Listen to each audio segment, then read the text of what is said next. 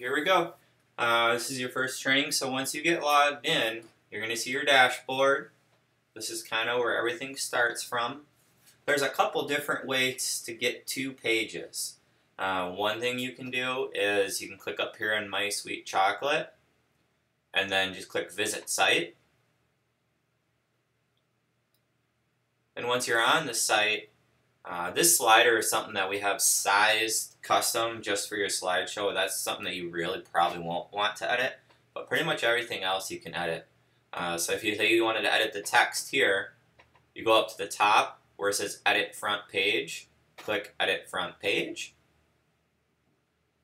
and there you go. We got all these different things. That's the slider area, which is something that Melissa should probably change because it's custom graphic setup. And then all these sections you can click on. So if you want to click on this area to change the word employees or something, say it was spelled wrong, you would just click on it, then click on the area that you want to edit, type in what you want. It's just like Word. The only thing you'll do first time you log in is right next to the magic wand, you're going to see this toggle toolbar. That gives you more options. So usually once you click that once, it'll just stay here. So if you wanted to highlight that and make instead of a paragraph, make it a heading one. Um, maybe you want to italicize something. There's there's so much you can do. Uh, see, this is a link right now because you can see it's blue. So if you click on it, then if you go up here to the chain link, you can change where things link to, like that. Again, you just click on it, click on the tool, the pencil, click on the link options, and you can either link it to pages inside your website, or you can link it into new pages by just pasting the URL here. If you're linking outside your website, I recommend open link in new tab. I'm not going to save any of these. Well, I could save it right now, but it won't really save unless you hit update up here. Once you're ready for the whole world to see it, once you hit update there, then the whole world would see it. These columns, you can drag everything around and move them. I've got four young kids, so I kind of like to use the analogy. They're like Legos. You can stack them. You've got all these different areas that you can stack in here. You'll see this other area down here, another area down here. So we wanted to create, this is the layout element, we wanted to create a another section that's one third. I clicked on that three times. Then you scroll to the bottom and you'll see that section. You can put whatever you want in here. Here's all the different content elements. The one you're going to use the most is this text block. So if I drag that down to that area, let's say maybe I want an image also. If you click on media elements, you're going to see image at the very front. Drag that down there.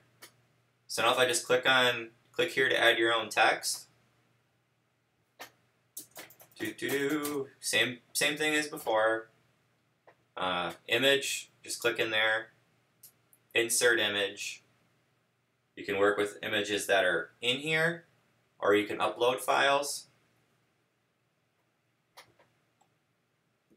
I'm not going to do all that. Pretty straightforward.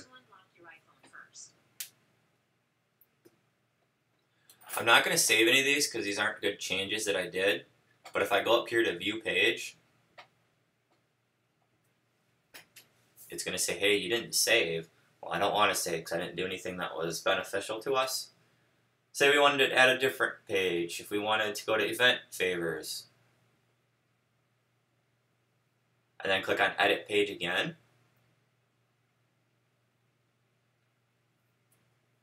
Then you can get into all those areas and edit those.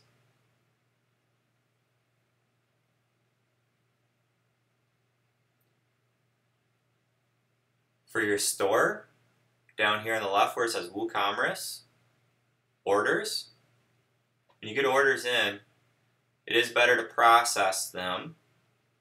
Uh, looks like you can see me testing a lot of different things. Um, but then when you get an order, you can click on it and do a bulk action mark processing. Um, there's different things when you click in here you can do the order also.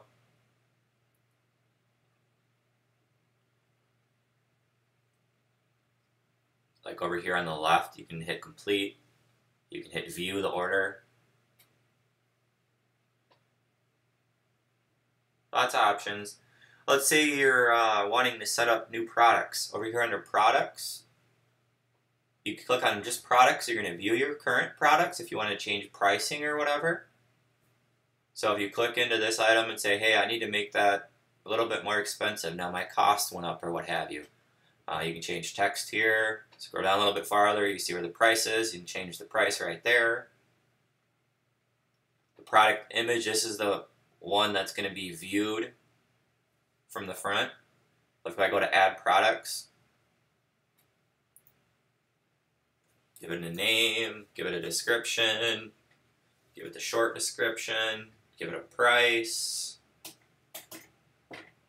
and just you got to make sure down here where it says product image, set the product image, that's what's going to show up first. That's the basics for setting up products. I'm going to go back to visit the site.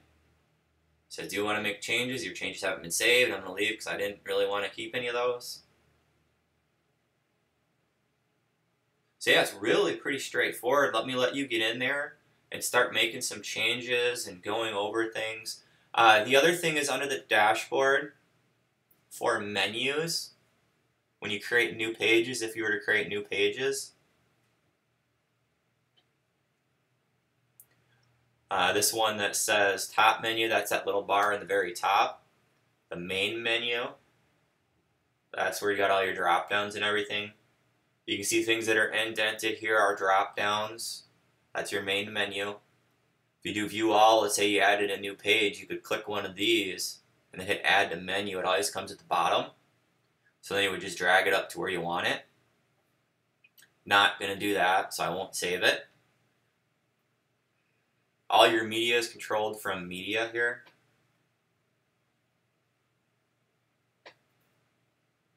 You know, you can upload a bunch of things if you want. Uh,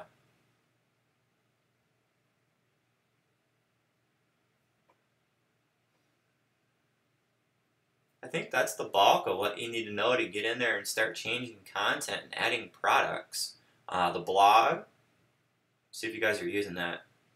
Yeah, okay. So add posts to the blog, you just go to dashboard, see where it says posts. You can see your current posts. There's a couple there. Or if you do add new, just give it a title.